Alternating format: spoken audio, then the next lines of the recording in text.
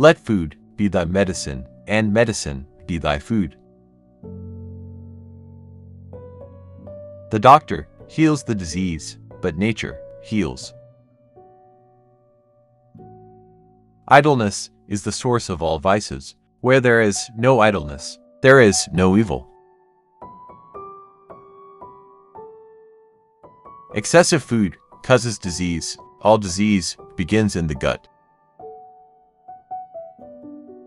Everything is good in moderation. Very often the best medicine is to go without it. Never put off treatment until later. When the brain is healthy and in a calm state, a person thinks sensibly. The human soul develops until death. Time always contains an opportunity. Any excess is contrary to nature. Doctor's first commandment do no harm. The drunkenness of fathers and mothers is the cause of the weakness and sickness of children.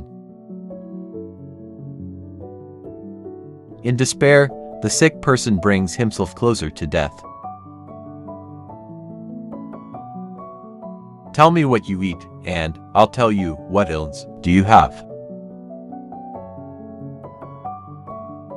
Declare the past, diagnose the present, foretell the future.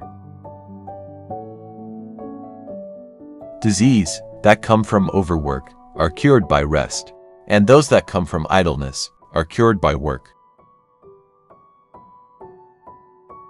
Both sleep and insomnolence, when immoderate, are bad. When in a state of hunger, one ought know to undertake labor. New food can only be taken when the old one is out of the stomach. Wherever the art of medicine is loved, there is also a love of humanity. If you are in a bad mood, go for a walk. If you are still in a bad mood, go for another walk. Walking is man's best medicine. As to diseases, make a habit of to things to help, or at least to do no harm. Life is short, art long, opportunity fleeting, experience treacherous, judgment difficult.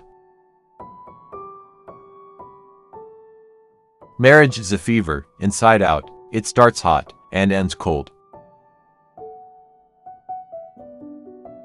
There are in fact two things, science and opinion. The former begets knowledge, the latter ignorance. The life so short, the craft so long to learn. frequent and causes fatigue, portends an impending illness. Do not tell your illness to anyone, otherwise you risk getting advice that can harm you. Avoid sex in old age, because at this age, it is safer to use other source of pleasure. Men who masturbate two to three times a week have more life.